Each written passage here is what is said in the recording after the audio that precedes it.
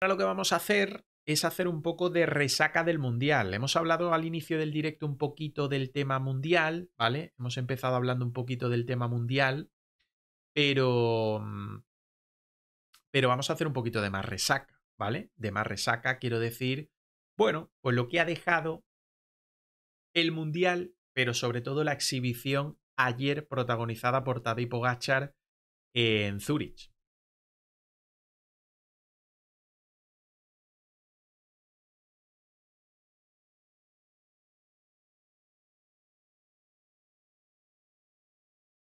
100 kilómetros en fuga, o atacó falta de 100 kilómetros, 80-80 y largos en solitario en cabeza de carrera, llegó a, perder, llegó a tener solo 37 segundos en la última vuelta, que algunos echaron las manos a la cabeza y confiaban poco en el bueno de Tadej Pogachar, etcétera, etcétera. Exhibición, Tadej Pogachar, ya lo dijimos ayer, un 2024 de ensueño histórico, no solo el triplete, dos grandes vueltas Giro Tour y el Mundial, sino ahora mismo una clásica, la Lieja. Queda por correr todavía y Lombardía, donde parece que va a estar, según lo que se había comentado, y puede batir todavía más récord. 23 victorias esta temporada, puede alcanzar las 26 si finalmente va a las tres carreras que tenía en su calendario antes de ganar el Mundial, quiero decir, y la gana, ¿vale? Pero puede llegar hasta las 26 victorias y es que ya se acaban los calificativos, ¿vale? Se acaban los calificativos por completo para este chaval. 26 añitos recién cumplidos y una carrera por delante, yo creo que enorme.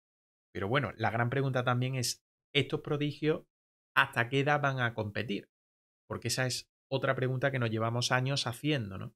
Si estos chavales que salen tan jóvenes aunque Tadej Pogachar solo lleva seis temporadas como profesional, es decir, no es un Renko, no es un Carlos, no es un Ayuso que aparecieron antes, sino que Tadej realmente subió con 20 añitos, lleva seis temporadas como profesional, 19 eh, añitos me parece, no, no 20, 19 añitos, hasta dónde van a alargar su carrera, ¿no? Dice Chava, Indurain con la edad que tiene ahora Pogachar solo tenía dos etapas en el Tour y poco más. Claro, que si nos ponemos a comparar es una auténtica locura. Es una auténtica locura. Ahí la verdad es que el tiro está, está muy bien, muy bien tirado, chava. Fijaros, Tadej Pogachar, el nuevo campeón del mundo, tiene tres Tours de Francia con 17 victorias de etapa, un Giro de Italia con 6 victorias de etapa. Aquí no pone las victorias en Vuelta a España que tiene si no me equivoco eran 2-3, ¿no? Si no me equivoco eran 2-3 del único año que corrió Vuelta a España, creo que sí, ¿no? Tiene un Tour de Flandes, tiene dos Liejas Bastoña Lieja, tiene tres y Lombardía, que pueden ser cuatro. Tiene dos Tirreno Adriático, tiene dos Estrada Bianche y tiene una París-Niza, ¿vale? Solo le quedan dos monumentos por conquistar, París-Roubaix y, y Milán-San Remo, ya lo sabéis. De hecho, habló hace poco en una entrevista en Canadá de Milán San Remo que le quitaba un poco el sueño, en este caso, que le impedía, le impedía dormir, ¿no? De a ver cómo iba a ser capaz de ganar eh, una Milán San Remo. Yo creo que lo va, lo va a acabar consiguiendo, tanto París-Roubaix como, como Milán San Remo, pero bueno, ya lo iremos viendo. Pero es que yo para mí es el ciclista con el palmarés más importante jamás visto. No sé si coincidís conmigo o no, pero yo creo que es el ciclista con el mejor almaré jamás visto. ¿Vale?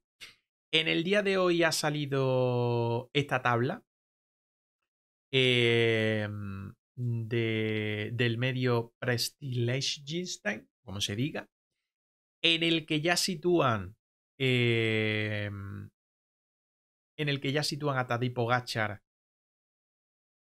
como el mejor ciclista la temporada 2024 de Tadej Pogachar como la mejor temporada de cualquier ciclista. Esta clasificación la hacen por puntos, ¿vale? Por puntos, ¿vale? Adelanta cualquier temporada de Eddie Merckx desde el 69 hasta el 74. faltando aún Lombardía, correcto, chaval, faltando aún Lombardía, ¿vale?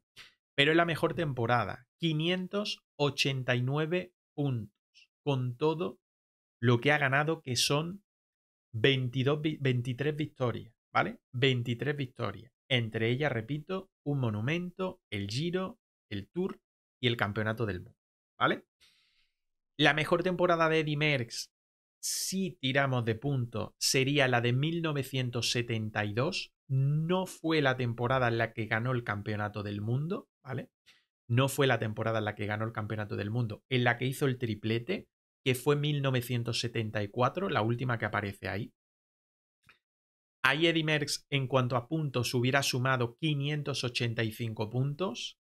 La segunda 1973, la tercera 1970, eh, la cuarta de Eddie Merckx 1971, 69 y la peor precisamente la que hizo el triplete 1974, que ahora hablaré ligado a esto de ese alfario, maldición, etcétera, etcétera, que muchos ya están hablando que ojito a lo que puede arrastrar a partir de aquí o en lo que pudiera caer a partir de aquí el bueno de, de Tadej Pogacar, ¿no? No sé si eso es creíble o no es creíble.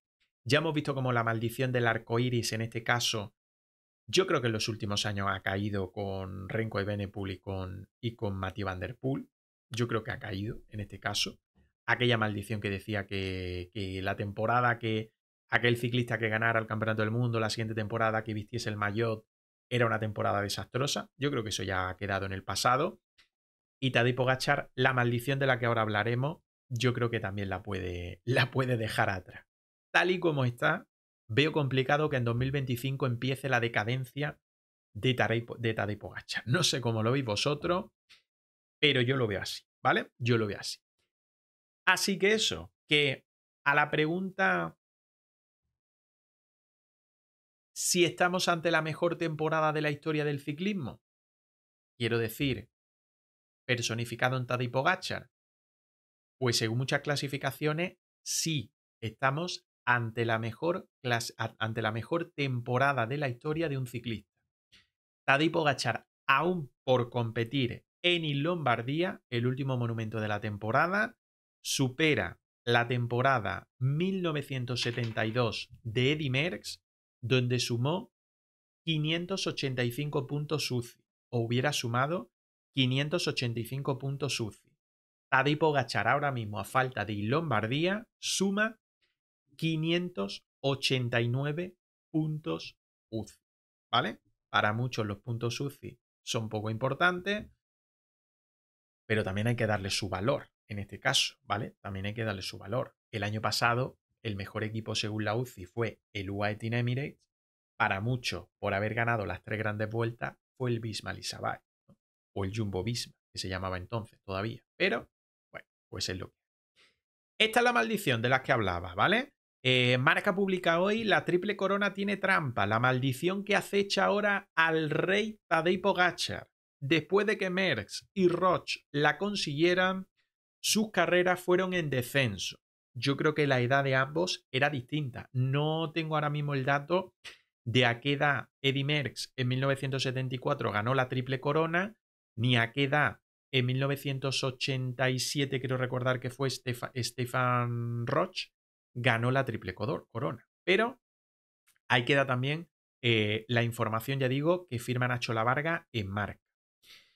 74 y 87, lo he dicho bien. Dice una cifra única en el ciclismo, un registro meritorio. Con Tadej se puede sacar cifra y récord de cualquier esquina. Como este año ha sido también el primer esloveno en conseguir un mundial, o que gracias a él y a Primo Roglic ganador de la vuelta, Eslovenia es el único país de la historia en ganar las tres grandes y el mundial en una misma temporada. Pues sí, correcto. Ayer no cayó en eso. Pero como decíamos, la triple corona tiene trampa. Desde el que el caníbal o Roche la consiguieron, sus carreras cayeron en picado. Nunca volvieron a ganar un mundial o una grande. El belga solo pudo subirse una vez más al podio. Segundo en la vuelta del 75 y aunque esa temporada ganó San Remo, Flandes, Amstel y Lieja, ya no volvería a conquistar un nuevo arco iris o rondas de tres semanas. Cuando hizo la triple corona tenía 29 años. Fijaros lo que he preguntado yo antes, pues 29 añitos. Eh, cuidado con la estadística. A Ross le pasó algo parecido. Desde el 87, cuando tenía 28 años, dos años más que Tadej Pogacar, e hizo el triplete hasta 1993, en año en el, que, el se retiró, su mejor puesto en grandes vueltas fue el noveno y tampoco se subió al podio de un mundial o monumentos. Al menos ganó la Itzulia en el 89. Una maldición que persiguió a las dos leyendas y que parece complicado que ahora perjudique a un Pogachar que a sus 26 años solo necesita ganar Rubé, San Remo y Vuelta a España para hacer el check en todas las grandes. Una gran vuelta y dos clásicas, dos monumentos para haber conquistado lo mejor del calendario. La maldición del arcoíris es para esos ciclistas que no son favoritos, que con el Mayotte, aunque no sean favoritos, están más vigilados.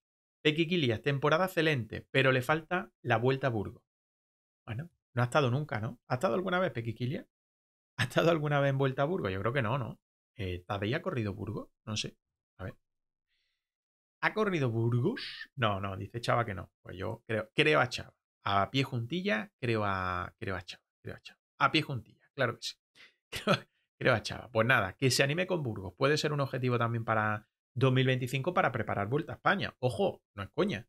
Eh, si viene a Vuelta a España tendrá que, prepararlo, ¿no? Eh, Pedriño Rayista 999. Gracias por darle ya a follow.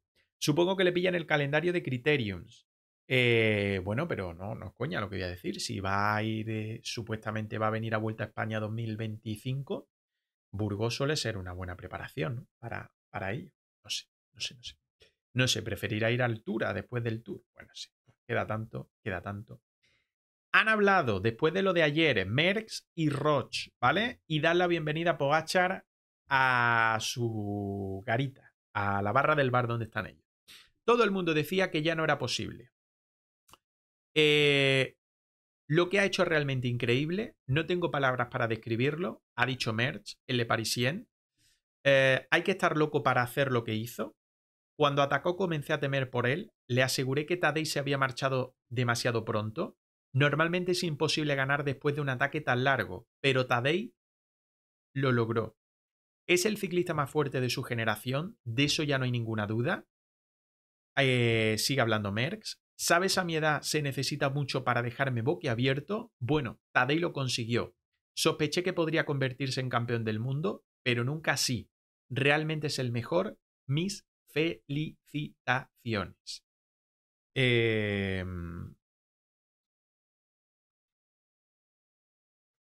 Y Roche también ha hablado en este caso en conversación con Nos, da la bienvenida al nuevo integrante Pogachar al grupo de la Triple Corona. Ahora me siento como si, estuviese, si estuviera en el sándwich entre Merckx y Pogachar. Eso no está mal. Hay imágenes, no sé si la habéis visto, eh, de ayer de eh, Roche en la línea de meta, bueno, en, el, en la zona mixta, eh, saludando a Tadej Pogachar y haciéndose una foto con, con Tadej Pogachar. Es muy hermoso, también lo hace todo un poco más humano. Han pasado 37 años desde que lo hice y estuve 13 años después de Merckx. Todo el mundo decía que ya no era posible, que esta era una generación diferente, pero creo que los récords están para batirse. Para mí es muy bonito que una tercera persona haya realizado el triplete. Me parece fantástico poder estar allí para darle las llaves de la casa. Se ríe. Y qué paseo, no se puede descubrir su actuación sobrehumana. Dice, eh, fueron necesarios 37 años, pero creo que mientras tanto otros corredores también pudieron hacerlo. Froome, Thomas, Armstrong, todos podrían haberlo hecho. Solo si ganas el Giro y el Tour te conviertes a menudo en un determinado tipo de corredor. Y si en el Mundial consigues un recorrido llano, a menudo tienes una desventaja, porque como ganador de un Gran Tour, a menudo no eres un velocista de primer nivel. Pero este año fue diferente. No puedes tener un recorrido así todos los años en el Mundial porque favoreces a un determinado tipo de corredor. Este fue el año de Pogachar para hacerlo. Así que ahí también los comentarios, las opiniones de los dos ciclistas que la historia ya habían conseguido lo que ayer igualó, mejoró en este caso, por el monumento que tiene ya este año y que pueden llegar a ser a dos, Ada y Pogachar, ¿vale? Pero ¿qué dijeron ayer los dos principales rivales, en la línea de salida al menos, teórico, principales rivales de Tadej Pogachar después de la carrera del esloveno.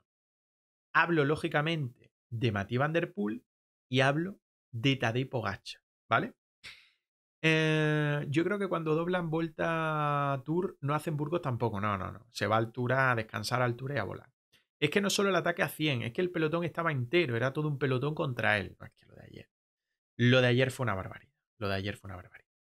Van Der Poel, ¿qué dijo después de la carrera? En realidad era como si también estuviéramos luchando por el título mundial detrás de Pogachar.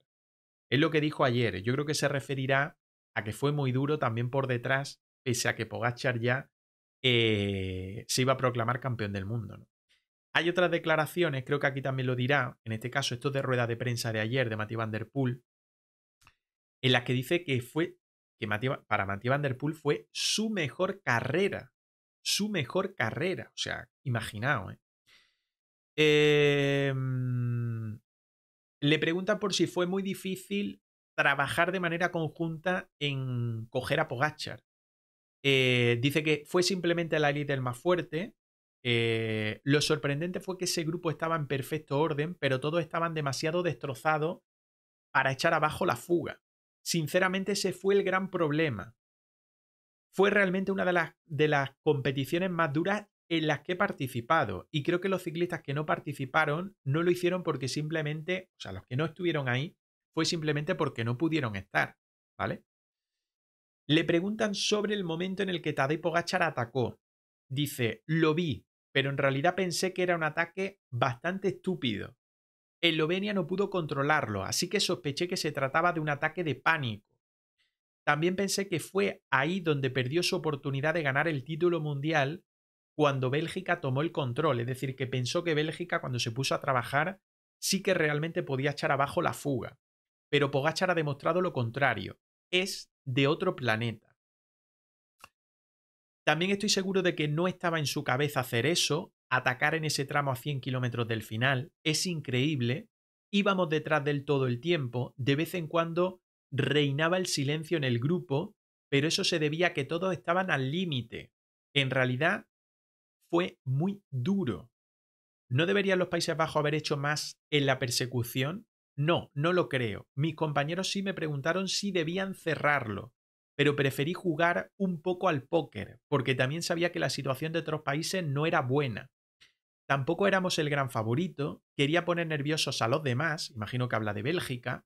Creo que también logré asustar a uno de los máximos favoritos, entiendo que habla de Renko. Fue una buena elección de por nuestra parte. Em, bueno, pregunta por Molema. Después de su victoria en Flandes, usted dijo que esta era la de Pogachar. ¿Dónde termina esto? No tengo ni idea. Parece que esto no ha hecho más que empezar. Creo que, es más fuerte, que está más fuerte que nunca. También es el merecido campeón del mundo tras la actual temporada. Tadej es el único que merece vestir esta camiseta, este maillot creo que también será un fantástico, un fantástico campeón del mundo digno de ver. Chapó por Mathieu Van Der Poel. ¿eh? Chapó por Mathieu Van Der Poel. ¿Qué le dijiste en la ceremonia del podio? Que estaba loco. Lo conozco desde hace tiempo y nos llevamos bien. Creo que todo el mundo está contento con él como campeón del mundo. Siempre pienso que es fantástico que es el mejor ciclista del mundo, sea el campeón del mundo o no. Tadej es eso en, en este momento y por eso es bueno que pronto use la, eh, el maillot arcoiris. ¿qué consejo le da? Eh, ¿Cómo fue vestir ese, ese maillot de campeón del mundo? Y, y, demás. Ayer se confirmó en esa rueda de prensa que no va a correr y Lombardía el 12 de octubre, ¿vale? De hecho, aquí lo refleja Chiro de la Gacheta. Eh, Van Der Poel acaba de confirmar que no estará en Lombardía el 12 de octubre, pero que correrá el Mundial de Gravel el próximo domingo, día 6. ¿vale? Sí que va a estar en ese Mundial de Gravel el próximo domingo, pero no va a estar en Lombardía el próximo día 12, es decir, que corre el domingo y que dice adiós a su temporada. Y el otro gran favorito que dijo después de la carrera, un Renko de Benepul, que ya hablamos ayer con Antonio y con Paul, que parecía muy nervioso, parecía bastante nervioso, muy, muy nervioso durante toda la carrera, Renko de Benepul, sobre todo en la recta final o después del ataque de, eh, de las perlitas que ha soltado Matías Van Der Poel iban por Renko, está clarísimo. Eh, y dice que fue una carrera muy especial, ¿vale? Fue una carrera muy especial. Por supuesto que me sorprendió el ataque de Pogachar. Todavía faltaban unos 100 kilómetros. Normalmente eso es un intento de suicidio, así, le así me pareció en un momento dado cuando nos acercamos en la última vuelta. Pero cuando llegamos a 30 segundos, yo creo que no llegaron a ser 30, fueron más, comenzamos a perder tiempo de nuevo. A partir de ahí creo que pudo mantener el liderato y ser campeón. Fue una carrera muy especial. En este recorrido podías quedarte un poco entre eh, eh, a rueda para ahorrar energía, pero en cierto momento la carrera explotó. Fueron 100 kilómetros a todo gas. En lo que respecta a mí, no puedo hacer, no pude hacer más. Ha sido una carrera bastante explosiva y muy exigente. No puedo vencer a los muchachos con los que estuve en el sprint, así que probablemente esto fue lo más, lo máximo que pude alcanzar hoy. La verdad las palabras de Matthew Van Der Poel son de chapó, las de Renko, pues no habla nada de, de Pogachar, dice poco de Tadej Pogachar, que fue un suicidio, que pensaba que era un suicidio y demás. Los que sí hicieron autocrítica fueron los compañeros de Renko de Benepul, ¿eh? los belgas. Colectivamente dijeron que no estuvieron completamente atentos, hablando de ese ataque. Eh, Hola Francis, buenas, dice, anda que debe estar contento Renko. Renko ha tenido que pasar mala noche, sí. Pero los belgas, sus compañeros, sí que hicieron autocrítica y dijeron que deberían de haber estado más atentos en ese momento. ¿eh? Al inicio de la penúltima vuelta vi a Eslovenia acelerar en la cabeza del pelotón, reconoce Benot en Headlab News.